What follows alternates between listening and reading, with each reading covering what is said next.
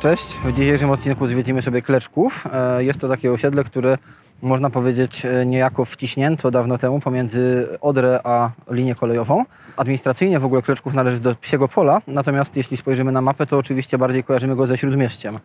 E, Podobnie jak reszta Śródmieścia, e, Kleszków jest takim osiedlem, e, gdzie możemy zobaczyć bardzo, bardzo wiele dawnych jakichś kamienic czynszowych. No i też warto wiedzieć, że kiedy osiedle to było budowane, to były to oczywiście przedmieścia Wrocławia, a nie centrum, tak jak dziś. No i z tego powodu właśnie tutaj zlokalizowano takie dwie instytucje, które nie- niedobrze się kojarzyły i raczej chciano, żeby były poza miastem. Mówię oczywiście o zakładzie karnym oraz o sz- szpitalu psychiatrycznym. Poza tym na Kleczkowie powstał też wspaniały port miejski. E, On znajduje się dokładnie w miejscu, gdzie przecina- przecinają się wszystkie odnogi Odry.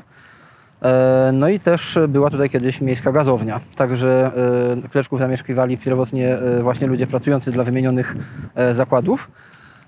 Po wojnie na niedaleki dworzec nad Odrze, który był jedynym dworcem we Wrocławiu niezniszczonym w wyniku działań wojennych, po wojnie zjechało na niego bardzo wielu Polaków i właśnie z tej okolicy rozpoczęli swoją, e, powiedzmy, przygodę i nowe życie we Wrocławiu. Myślę, że dzisiaj Kleczków najbardziej kojarzy się wszystkim właśnie ze szpitalem psychiatrycznym i zakładem karnym nadal.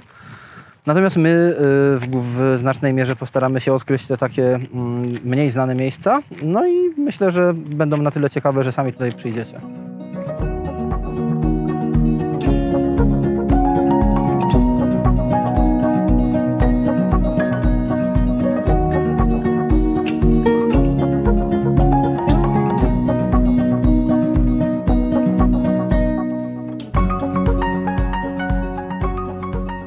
Jesteśmy teraz na terenie portu miejskiego. E, Jest to w ogóle e, obszar takiej bardzo ciekawej e, architektury przemysłowej, zwłaszcza jeśli ktoś lubi takie klimaty trochę może apokaliptyczne czy postapo- postapokaliptyczne.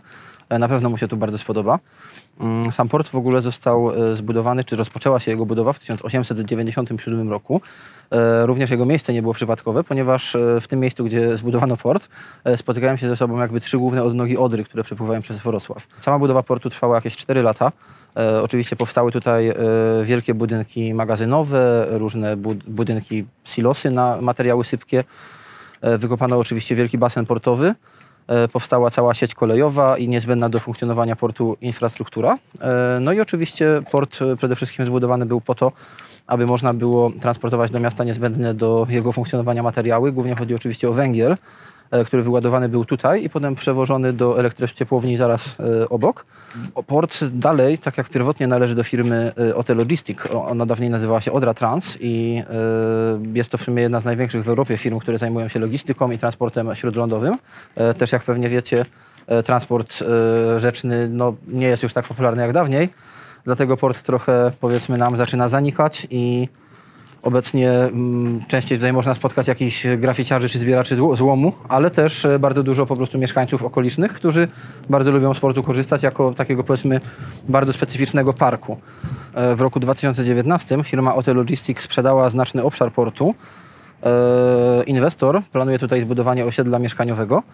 E, Oczywiście e, myślę, że będzie to bardzo fajne osiedle, ale warto jednak pamiętać o tym, że port został zbudowany po to, aby służyć e, gospodarce miasta. I myślę, że byłoby to bardzo przydatne, ponieważ transport rzeczny jest ekologiczny, dosyć tani, też trochę nam rozluźnia korki w miastach. Są to wszystko bardzo, bardzo ważne rzeczy. Też e, warto pamiętać o tym, że e, cały port jest takim dosyć e, fajną przestrzenią, która służy, pierwotnie służyła i służy nadal różnym wydarzeniom kulturalnym. Między innymi będzie się tutaj odbywał festiwal Survival, na który serdecznie zapraszamy. W ogóle do portu warto wpaść. Jeśli lubicie takie klimaty trochę przemysłowo, postapokaliptyczne, to na pewno będziecie za- zachwyceni, jeśli tutaj wcześniej nie byliście.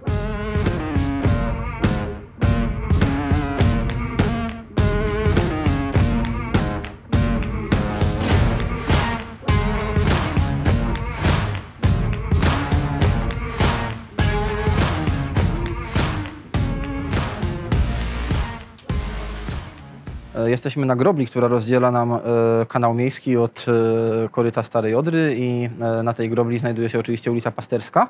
E, Będziemy też o niej mówić w innym filmiku. Właśnie przy tej ulicy możemy znaleźć e, dawny budynek basenu. Oczywiście jest to dzisiaj kompletna ruina, ale e, warto go znać, ponieważ e, to też jest projekt e, bardzo słynnego wrocławskiego architekta. Mowa oczywiście o Richardzie Konwiarcu.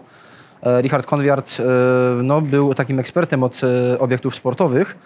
Jego najbardziej znaną oczywiście realizacją jest budynek, czy w ogóle cały zespół budynków Stadionu Olimpijskiego. Też przy okazji może wyjaśnijmy sobie jedną rzecz, bo bardzo często mówi się, że mamy Stadion Olimpijski we Wrocławiu, ponieważ Wrocław ubiegał się o organizację igrzysk, natomiast nie jest to prawda.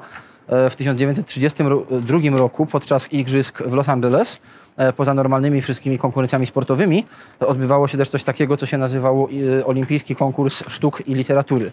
Także właśnie e, na tym konkursie projekt architekta z Wrocławia Richarda Konwiarca Stadionu Miejskiego e, został nagrodzony brązowym medalem i oczywiście jest to ten stadion, który mamy do dzisiaj. E, Dlatego nazywamy go olimpijskim. Także e, z takim innym, myślę, ciekawym przykładem e, sportowego obiektu e, pracowni Richarda Konwiarca e, jest właśnie ten e, stary basen. Pierwotnie posiadał on w ogóle e, dwa kąpieliska. Jedno było w tej części powiedzmy ziemnej, e, wykopane. To było e, kąpielisko dla ludzi, którzy umieją pływać. E, Osoby, które jeszcze się uczą pływać, pływały e, w rzece. E, Była tam taka wydzielona część koryta. Kąpielisko było dostępne z drewnianych pomostów oczywiście. No a w samym tym niepozornym budynku mieściły się szatnie, kawiarnia, jakieś tam prysznice, część administracyjna i gospodarcza. Do myślę jeszcze niedawna funkcjonował tutaj taki klub sportowy Pegas, w którym można było wypożyczyć na przykład kajaki. Później, kiedy były tutaj mm, remont koryta Odry i troszeczkę poszerzono jej koryto, no to właśnie e, ujęto powiedzmy tę część ziemną i obecnie cały ten obiekt jest ruiną. E, No ale myślę, że warto o nim pamiętać i jeśli ktoś jest e, miłośnikiem takich powiedzmy miejskich eksploracji, e, to jest to na pewno budynek, który powinniście odwiedzić. Idąc sobie ulicą Pasterską, e, właśnie przez Kleczków, e, traficie też do szopy jazowej, w której mieści się pracownia szkła Archiglas. E, Tutaj powstają różne e, dzieła sztuki właśnie ze szkła, między innymi e, jeśli odwiedzicie kiedyś budynek Uniwersytetu Wrocławskiego, to wewnątrz jest taki powiedzmy obiekt portierni e, w kształcie szklanego wielkiego jaja. To też powstało właśnie tutaj. Jesteśmy przy jazie Różanka. E, Takie e, budowle jak ta wznosi się po to, aby e, rozpędzić trochę wodę w rzece i spowodować, że nie będzie ona nam zalewała osiedli, które się znajdują na brzegach. E, oczywiście taki jaż uniemożliwia nam żeglugę, dlatego niedaleko się znajduje też śluza. E, a po to, żeby ryby mogły się swobodnie przedostać w górę i dół rzeki, e, powstała tutaj e, tak zwana przepławka dla ryb dwuśrodowiskowych. Ona się tam znajduje na końcu, gdzie mewy sobie siedzą. Taka przepławka pozwala rybom na wpłynięcie do góry rzeki. Mm, Robią to ryby oczywiście takie, które żyją w morzu, ale składają swoje tarło w rzekach, na przykład łososie, które w Odrze występowały do lat 80., czyli w sumie całkiem niedawno. E, tak naprawdę ostatnią dużą rzeką w Europie, gdzie łososie żyją, nadal jest Wisła.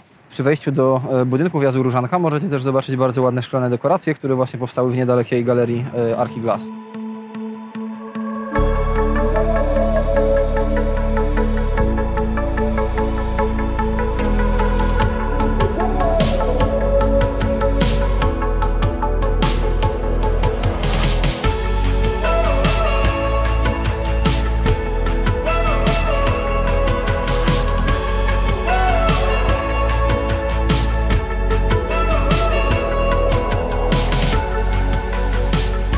Jedziemy sobie ulicą Trzebnicką od strony centrum miasta e, na północ. E, Po lewej stronie mijamy kamienicę Kleczkowa, natomiast po prawej stronie e, budynki dawnej gazowni miejskiej. No i za nimi rozciągały się kiedyś takie błonia, na których e, później zbudowano supermarket. E, Niedawno też powstało tam całe osiedle mieszkaniowe. E, Myślę, że mało kto wie, że w XIX wieku w końcówce na tych płoniach odbywały się bardzo ciekawe zawody, mianowicie swoją siedzibę miało tutaj Śląskie Towarzystwo Latania Statkami Powietrznymi. Tymi statkami oczywiście były balony, balony e, napełniane gorącym powietrzem. E, Oczywiście taki statek nie posiada swojego własnego napędu, e, jest napędzany tylko prądami powietrznymi i sterowanie nim wymaga bardzo dużego doświadczenia i umiejętności. Odbywały się tutaj rozmaite konkurencje, na przykład e, lot do celu deklarowanego przez e, załogę, lot do celu deklarowanego przez sędziego zawodów. Też taka konkurencja, która nazywa się lot za lisem, czyli pościg jednego balonu za drugim balonem. E, Jakby te trasy zawsze wyznacza się przy pomocy takich markerów, czyli ciężarków z kolorowymi wstążkami, e, które wyrzuca się na ziemię i one oznaczają nam jakby trajektorię lotu. Tak naprawdę te loty odbywały się aż do lat 30., natomiast w 1910 roku doszło tutaj do tragicznego wypadku. E, W swój ostatni lot wyruszył e, właśnie z tego lądowiska e, wybitny profesor chemii Richard Abeg. E, Profesor Abek wyruszył w lot razem ze swoją e, żoną Liną oraz jednym e, dodatkowym członkiem załogi. Kiedy podchodzili do lądowania niedaleko Cieszyna, nagły podmuch wiatru wywrócił gondolę i przyjaciel profesora oraz jego żona Lina wypadli z gondoli. Nie, nie stało im się tam nic wielkiego. Natomiast gondola z samym profesorem poleciała jeszcze kilkadziesiąt metrów dalej, rozbiła się. Sam profesor z bardzo licznymi złamaniami został przetransportowany do szpitala w Cieszynie, gdzie niestety wkrótce później zmarł. E, No jest to dosyć smutna historia, ale e, myślę, że warto o tym pamiętać, ponieważ e, mało kto z nas, kiedy tutaj robi zakupy czy przychodzi na Dodrę, pamięta o tym, że odbywały się tutaj takie ciekawe i widowiskowe rzeczy.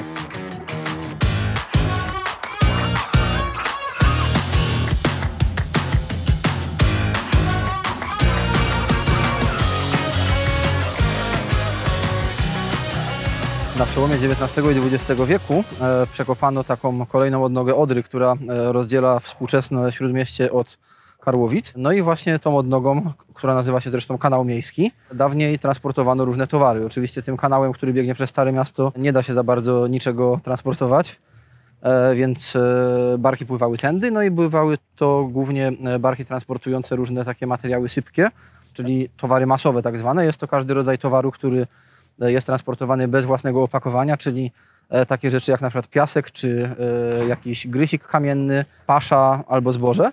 Pozostałością po tych czasach jest oczywiście ten wspaniały budynek za moimi plecami, e, czyli elewator zbożowy. E, oczywiście dawniej ten elewator e, był skomunikowany z różnymi tam jakimiś zakładami, na przykład piekarniami. Doprowadzona była do niego e, sieć kolejki wąskotorowej, po której jeździły sobie takie napędzane e, benzyną e, lokomotywy. Od lat 80. już elewator nie jest w użyciu, no i stał sobie tak powiedzmy samotnie nad rzeką e, wśród pola, e, stając się miejscówką dla graficiarzy czy jakichś eksploratorów różnych miejskich ruin. E, No ale kiedy powstało tutaj nowe osiedle, no to bardzo ludzie się zaczęli obawiać powiedzmy o przyszłość tego e, budynku. E, Na szczęście udało się stworzyć petycję i zebrać bardzo dużo głosów, co spowodowało, że konserwator zabytków się tematem zainteresował. Nie wiemy, czy e, elewator zostanie wpisany do rejestru zabytków, e, no ale raczej możemy być póki co spokojni o jego przyszłość.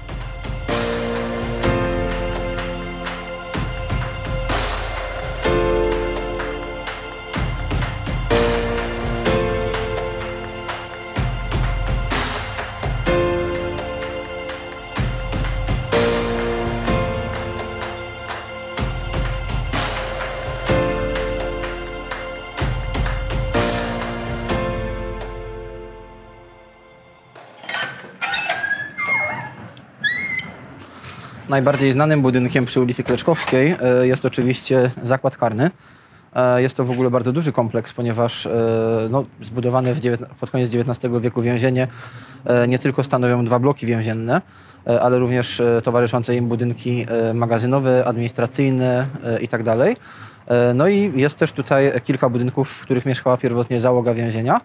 E, I właśnie z jednego z nich teraz wyszedłem. One e, pierwotnie ponumerowane były literami A, B, C, D i E. E, Mieszkali tutaj głównie strażnicy, ale niektórzy mieszkańcy powtarzają sobie taką legendę, że w jednym z nich też mieszkał kiedyś kat. I podobno właśnie ten budynek jest z więzieniem połączony tajnym tunelem, którym kat chodził do pracy po to, aby zachować dyskrecję.